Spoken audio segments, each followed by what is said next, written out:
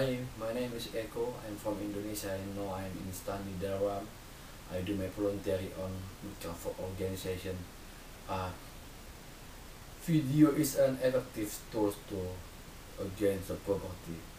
With video, we can make us we can make a story or history about poverty. We can go to so many places uh, to see how and why so many people living in poverty and also we can make interview with them and ask them about the poverty. What is mean poverty for them?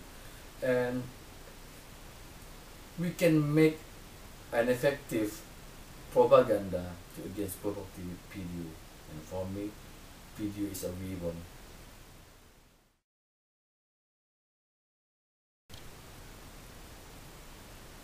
uh, what I believe is uh, I believe capitalism is a big problem for us. Really, uh, with their money, they control everything, everything. Uh, they brain brainwash, brainwash us every day with their ads. We we no longer believe in solidarity. We don't.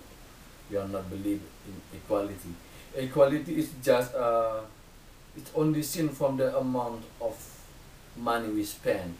We only know how to buy, buy, and every day only buy. But I believe with communication, with community education about solidarity, about equality, about freedom and peace, we can stand together to fight capitalism. Wow, it's amazing. It's really, really lovely. With Bob, I, I can improve myself. I learn a lot here.